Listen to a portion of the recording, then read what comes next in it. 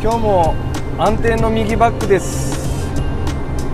ちょっとタラタラねやっても全然上達しないんでちょっとどんな感じかっていうのを喋りながらやっていこうと思います。でちょっと最近気づいたんですけどあの大型の箱車みたいにこうなるべくラインに寄せて駐車を始めるっていうのはちょっとトレーラーは違うみたいじゃないかなと最近思いまして。それに気づいたらだいぶちょっとやりやすくなったんですよね。やっぱこう入っていくまでに時間がかかるからだとは思うんですけどこれまたちょっとタイヤが上がってるからこんな感じかな。ちょっと早いかまた。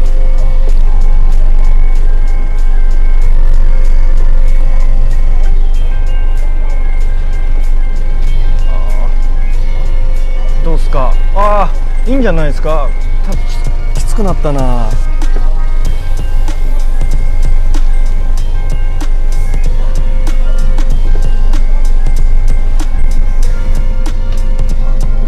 あーもったいない。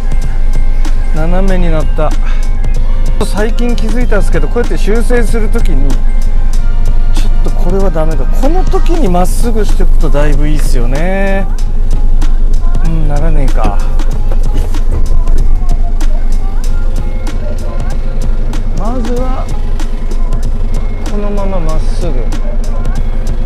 このまままっすぐ行って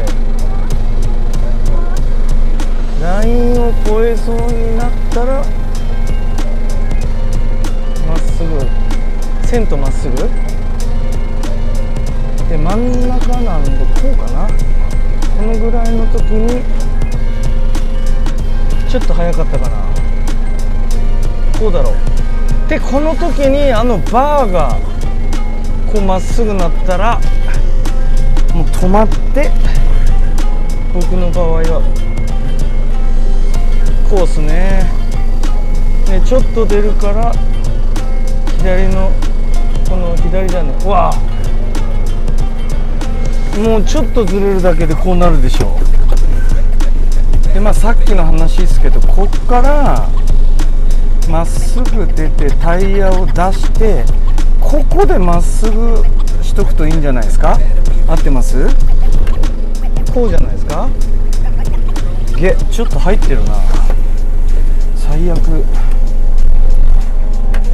このまま行きましょう。ちょっとタイヤを入れてこうですね。どうですか？どうでしょう？うわ一緒。同じことしてる。したらもう最悪だぜ。こういうのがマジで分かんない。こうだね。もうこれまっすぐでしょ今。ちょっとライン踏んでる。よいしょ。だからこっちか。ちょっとだけ入れてバックしますか。こんぐらいでいいんじゃないですか。もっと。あこれ今まっすぐっすね。であの後ろのタイヤを合わせればやっとできたんじゃないですか。あでこれタイヤが上がってるからタイヤ落とさないといけないですよね確か。オ